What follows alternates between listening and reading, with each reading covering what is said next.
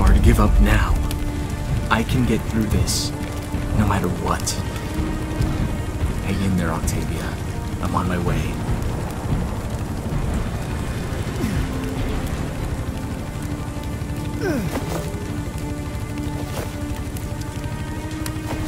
Ugh.